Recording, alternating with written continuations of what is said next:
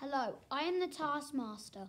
Your challenge for the weekend is to take a photograph of you reading a book in the strangest place. The most creative place will win. Send your pictures to us at, Boothville Pry.